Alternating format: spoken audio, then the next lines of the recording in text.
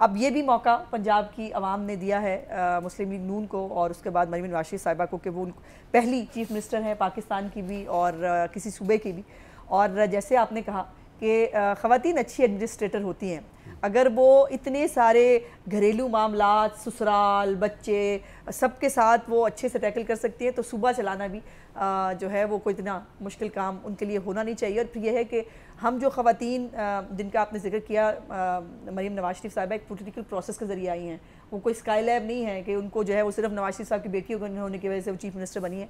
उन्होंने अपना एक लोहा बनवाया अपनी धाक बनवाई है। उन्होंने बहुत मेहनत की है पार्टी के अंदर भी और आवाम के हवाले से उनका एक रोड मैप बड़ा क्लियर है उनके पास।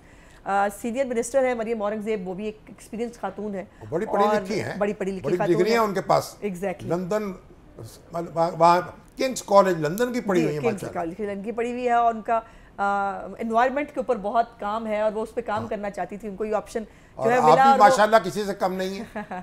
और मुझे ये इन्फॉर्मेशन का एक जो बहुत टफ जॉब है वो मुझे मिला है। सो मेरी कोशिश और ख्वाहिश ये है कि जो पंजाब के सूबे के लिए जो मेहनत चीफ मिनिस्टर साहबा कर रही हैं और जो विजन है उनका वो मैं आम आदमी तक पहुँचा सकूँ।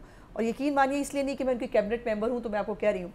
जिस मेहनत के साथ और जिस क्लैरिटी के साथ वो काम कर रही हैं यानी उनको पता है वो क्या चाहती हैं। हम्म। उनको पता है कि सूबे के लोगों की ज़रूरत क्या है। वो बेशक जो है वो रमज़ान पैकेज जो निगेबान रमज़ान पैकेज उन्होंने शुरू किया।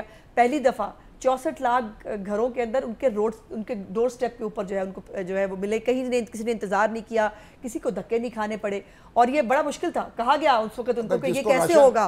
ना मिला हो कोई हेल्पलाइन का नंबर भी आपने मुकर जी बिल्कुल कई लोग मुझसे रबते करते हैं हमें राशन की ज़रूरत है। जी अब तो प्रोग्राम वो तकरीबन खत्म हो गया बिकॉज़ हमें दस वो वो तो खत्म हो गया। लेकिन बिल्कुल एक सिर्फ़ निगेबान रमज़ान पैकेज के अलावा भी चीफ मिनिस्टर साहबा की अपनी हेल्पलाइन है zero eight hundred one two three four five तो इसके ऊपर जो भी किसी भी महकमे से मुतल किसी की शिकायत हो वो उनके पास किसी के पास खाने को कुछ ना हो जी बिल्कुल घर में सामान ना हो बिल्कुल कर सकते वो रब्ता कर सकते हैं। बिल्कुल कर सकते हैं।